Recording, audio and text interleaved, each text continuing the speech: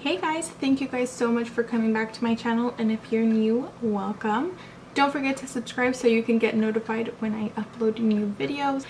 Um, today I have a drugstore first impressions. It is all products that I've never tried before. Definitely some hits and misses.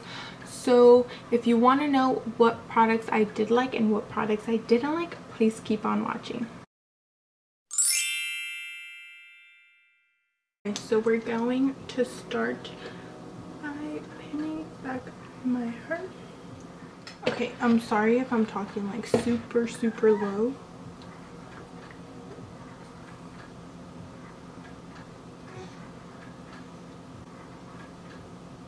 Everybody's asleep. It is 9.06. Okay, so I'm going to start with the Color Tattoo Metal in um, Barely Branded. This is by Maybelline New York. So I'm going to be using this as a eyeshadow primer.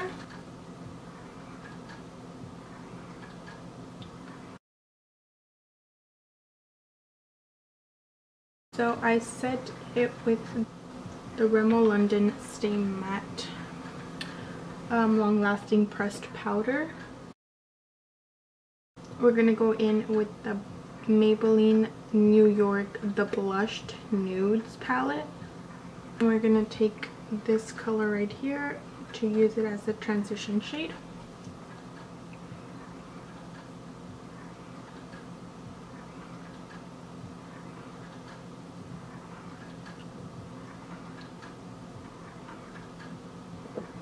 Okay, so I'm not sure if it's because the color is really light but it's so not pigmented like at all. So I used so I used these two colors right here. This one and this one. See if that looks a little better.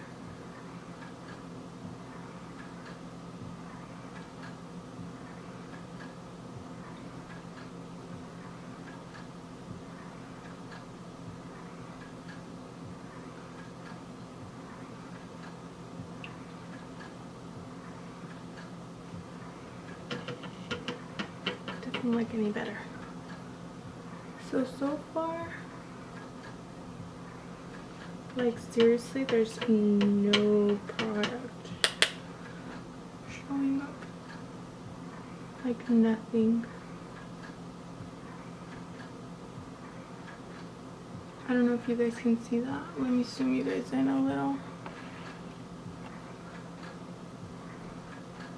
Like, I don't know if you guys can see that, but there's nothing showing up. Okay, so there's a bit showing up now.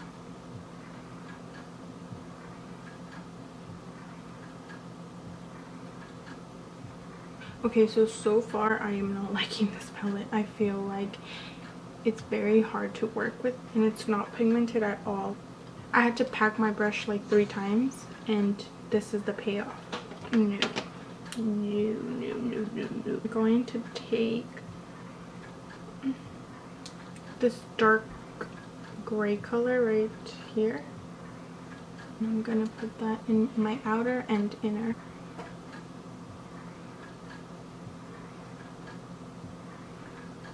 Okay, so this one was a little bit more pigmented.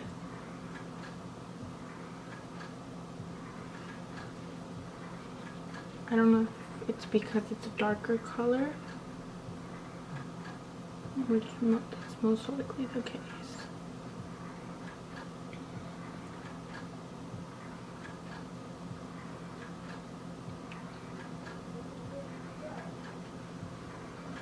So I'm focusing it on the outer V of my eye and then with the rest of the product I'm just kind of bringing it in a little.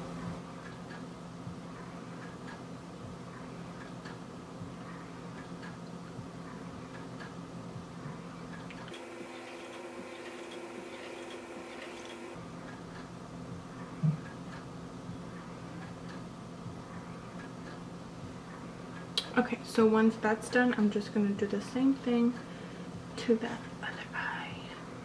Of course. I feel like it's really hard to blend these colors out. Which, which sucks because I was really excited about this palette. And people rave about it so much that I kind of had like high expectations for it. I'm going to take this gray color right here and see how that works. If not, I'm going to go down to the other gray.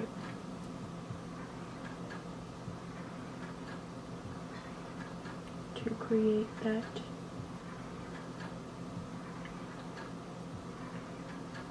kind of halo eye.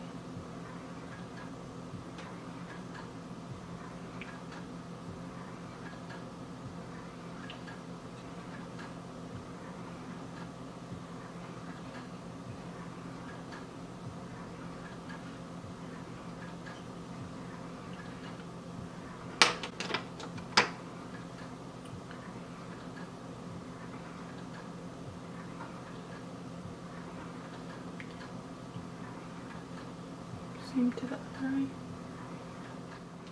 So for this palette, I give it a 7 out of 10 just because the colors are very inconsistent. Um, some are very pigmented, some other, some aren't. So that's the reason why I'm giving it a 7 out of 10. Now we're going to go on to the brows and I'm going to be using the NYX eyebrow gel and this is in blonde. I'm a little scared about this one. So I'm just going to use a spoolie to brush my hair out.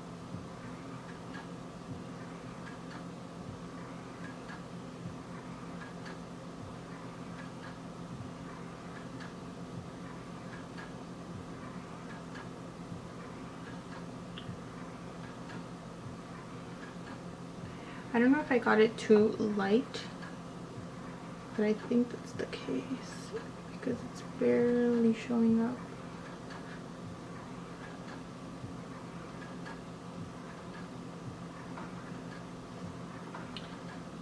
Okay, I might have to go with my pomade, my Milani um, pomade because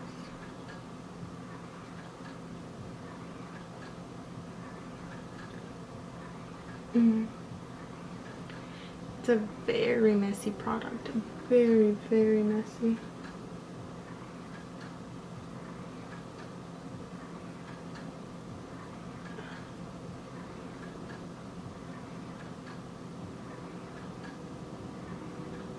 And it's also very hard to do it on camera. So I'm sorry about that. If I keep looking down again.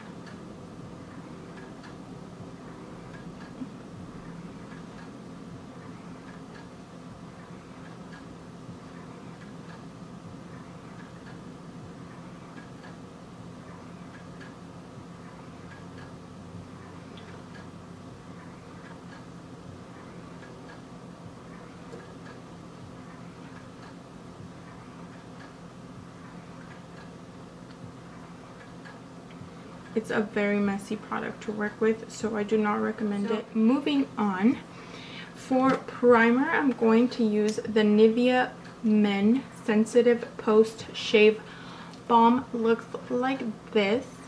Pretty sure you guys have heard about this.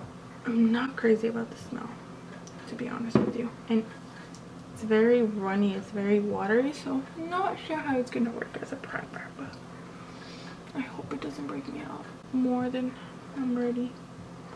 Let me zoom you guys out.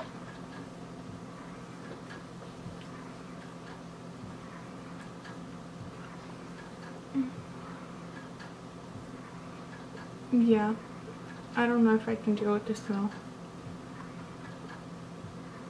So I'm going to use two primers. I'm going to use that one and then I'm going to be using the Maybelline New York Baby Skin Instant Pore Eraser.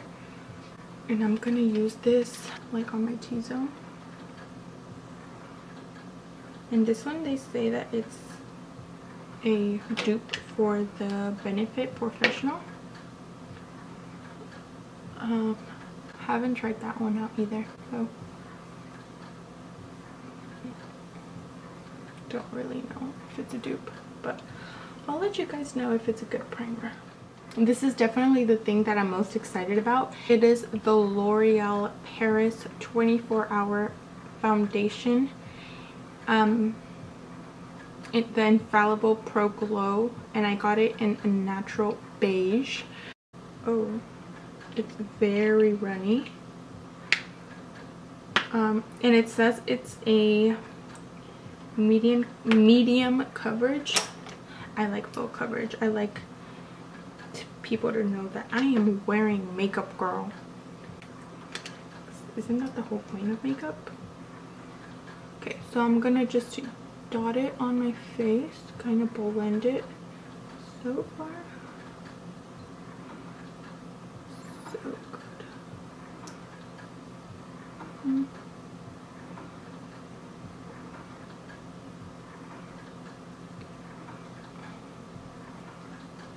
Don't forget that knit girl. Okay, I think I'm gonna need a little more. if you're somebody that likes full coverage foundation like I do, don't know because this is the second time I applied to the back of my hand and with my Milani foundation I just need like one little squirt I am good to go but this one I had to squirt it dos veces. And then I'm taking a damp beauty blender and tapping it in.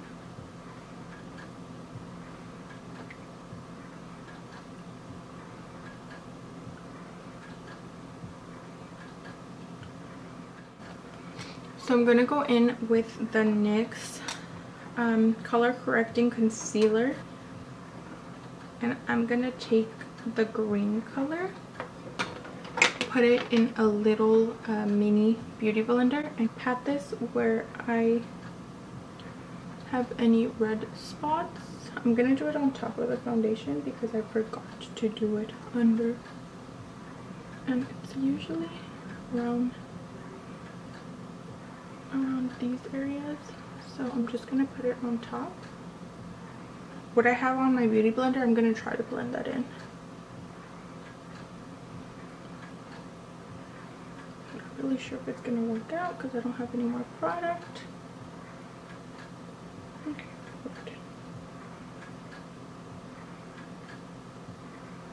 So, with the salmony color, I'm gonna use that under my eyes. yeah, so off of the Wet n Wild contouring palette in caramel toffee i'm gonna take the highlight shade which is this yellow one right here as you guys can tell it is not um like shiny at all for me to use it as an actual highlighting color so i'm just going to use it to set my under eye concealer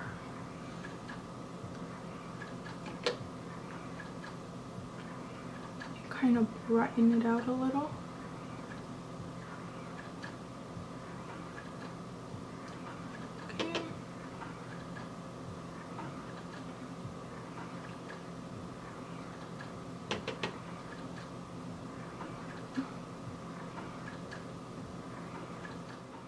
So if you're looking for a highlight, I wouldn't recommend um, to get this specific one for like your actual highlight but I really like it for your under eye concealer. I think it brightens out your eyes a lot. So that I do recommend it for. Pushed what was left over on my nose. Um, with the same palette, I'm gonna get I'm gonna get the contouring shade and contour with it. Duh, working out a lot. And I usually don't.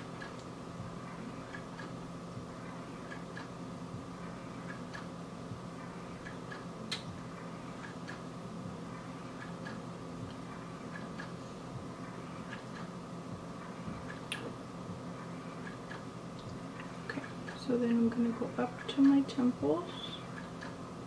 And I I like creating like a three with my contour. So I go like one, two. And I know it's a little harsh. But let's work with it.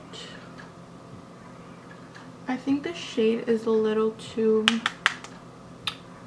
um, brown. I like to stick to like the more grayish colors.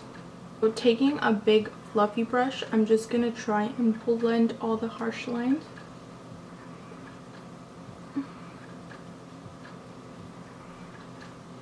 Kind of blend everything together.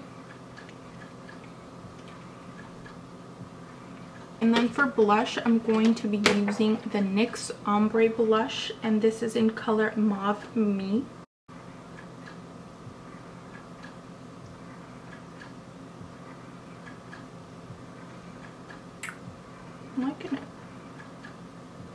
Okay, and since I didn't really get a highlight um, because I thought this one was to work, but it obviously didn't. So I'm to use um, my NYX highlight and contour palette. And it's basically not cheating because I've never used the highlight in here. Just highlighting the cheeks.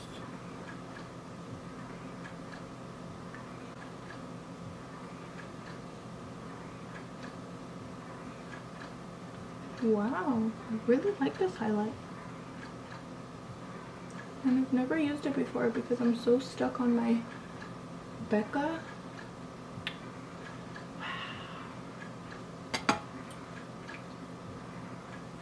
But I don't, I haven't tried this one.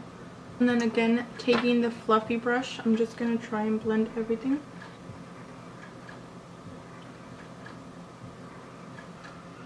Connect it. And then connect it.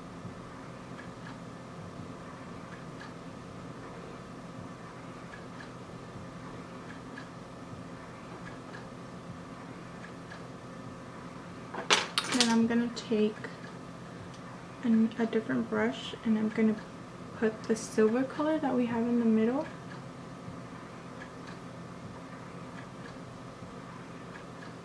So I didn't get any mascaras from the drugstore that I haven't tried. Don't know why I kind of forgot about it. But um, I'm going to be using the CoverGirl Lash Blast Volume, which is the orange one. This is my holy grail mascara. I love it so much. And I'm going to put some falsies on and I'll be right back. So I used the NYX um, lip cream in Cannes and I am not crazy about the color. I really like the formula though. It feels like nothing's going on. Like it feels like air on your lips but not liking the color. Let's start with the Nivea Men Sensitive Post Shave Balm. I am not crazy about this just because of the smell and I also don't feel like it made any difference with how the foundation went on. I'll keep trying it and I'll leave it down in the description box to let you guys know how I feel about it. The baby, the baby skin from Maybelline, I really liked it. I feel like it did erase my pores. It like, as soon as I put it on, it kind of vanished like the look of um, my huge pores. The foundation I really like the foundation. I don't feel like it's super glowy. Um, it's it is medium coverage, medium to full I would say.